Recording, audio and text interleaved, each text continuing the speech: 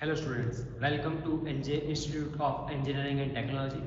Here myself Mr. Jayswal Kishan, Civil Engineering Department and we are learning all about structural analysis. So let's start our session.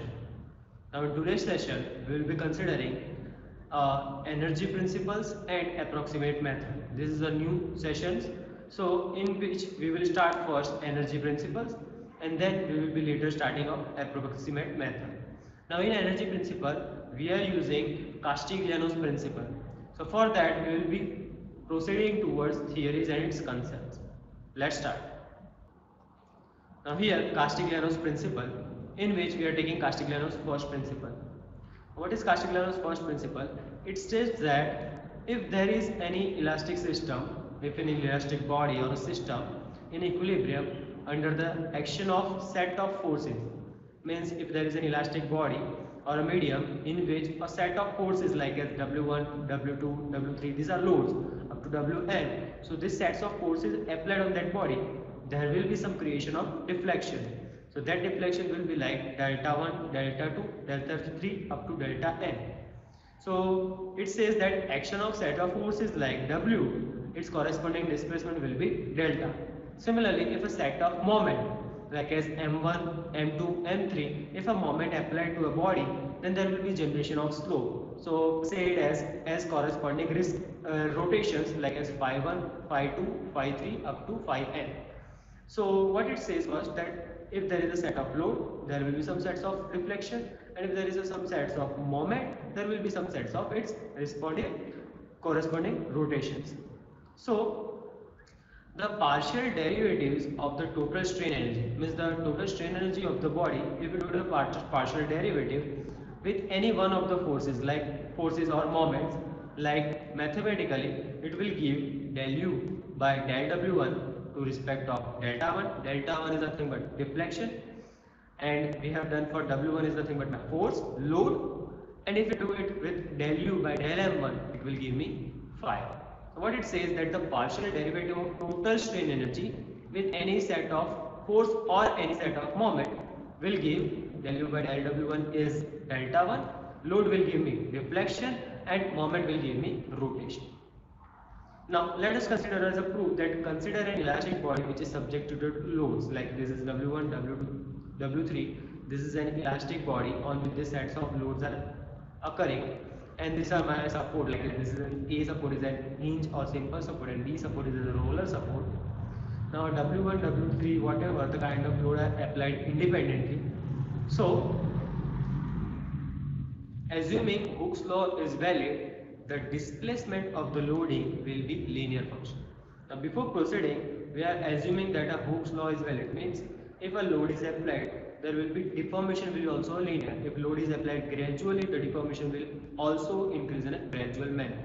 So assuming Hooke law as a valid displacement of loading will be linear of load. So our total strain energy U is given by U is the strain energy is given by half of W1 into delta 1 plus W2 into delta 2 plus W3 into delta 3 plus as so on. So our total strain energy will be given by like this.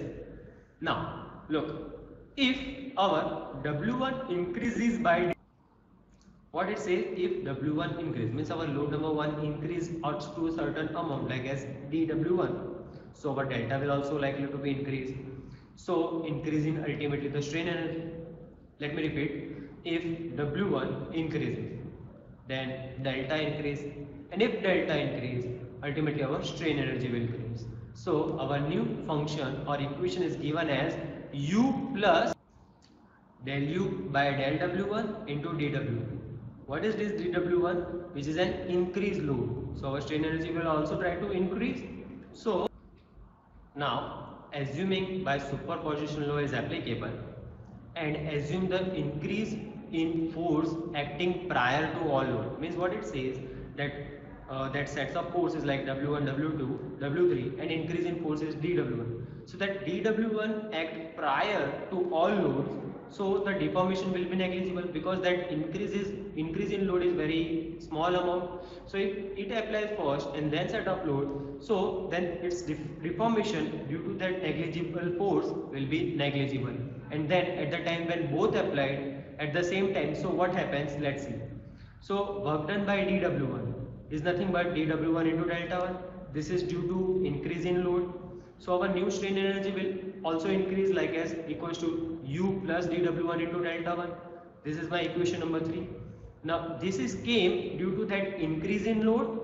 So increase in strain energy and we are assuming that it is applied prior to all loads like as to apply assuming superposition law. So our new strain energy has been named as U plus dW1 into delta. 1. So by comparing this uh, that negligible load strain energy and all sets of load energy we can find delta. Like this is my equation number 3 that U plus dW1 into delta 1 equals to U plus del U by del W1 into dW1 by comparing this two, we can find out delta 1 as by cutting down this u and this dw1, we can find out delta 1 is nothing but del u by del w1. By this, we can find out the amount of deformation occurs in that particular body. Like similarly, to find rotation, we have to do del u by del m. So by this, we can find Castigliano's first theorem applicable to beam deformation and rotation. So how it can be applicable? Now let's say the strain energy due to bending U equals to integration limit 0 to L m square upon 2ei into dx. So this is my the strain energy due to bending where m is the function of u with respect to p. Now u is my strain energy and p is my load to give delta.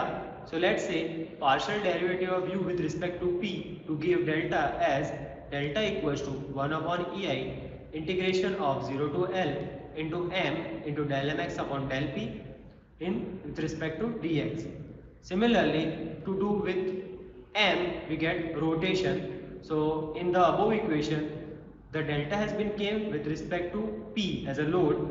In this equation, we got theta with respect to m like as 1 upon ei integration 0 to L into m and into del mx upon del m into dx. So by this, with the help of these two equations, we can find the rotation theta and deflection delta with the help of this Castigliano's principle. So this was our first principle of Castigliano's. Let's see our next principle is Castigliano's second principle. It is way more near to similar with the first principle but in this Castigliano's second theorem it states that if U is the total strain energy stored up in a framework in an equilibrium under external system of forces, its magnitude is always a minimum. What it says that if you use this particular strain energy stored in a body and then uh, if a set of forces are applied externally, then the magnitude of that strain energy will always be minimum. So partial derivative with respect to P applied where the deflection is 0, then it is also 0. What it says, whenever the partial derivative with respect to p is applied, where the deflection is 0, ultimately its effect is also 0. This is also known as a least work or minimum work theorem. So del u by del p equals to 0.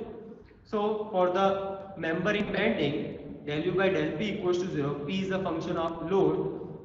So del upon del p integration to 0 to L m square upon 2ei into dx so this first equation gives me, this means equation number 2 gives me delta like as 1 upon ei integration 0 to L m multiplied by del m by del b into dx. It is way more similar to the previous uh, previous uh, Castigliano's theorem.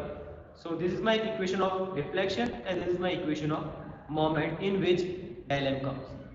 So likewise we can take help of these two principles to solve the examples.